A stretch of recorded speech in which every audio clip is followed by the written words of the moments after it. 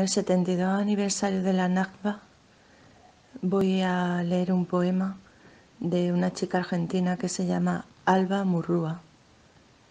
El poema se titula Ningún Dios se apiada. Ya no existen palomas blancas, ni niños que ríen, ni niñas que sueñan con ser madres en medio de la tierra prometida que gime.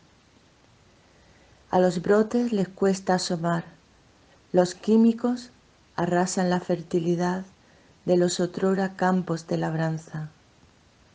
No puede verse el azul del cielo, ya no se sabe el significado de ciertas palabras, sobre todo futuro. Ningún Dios se apiada. Como siempre, el hombre es un lobo para el hombre.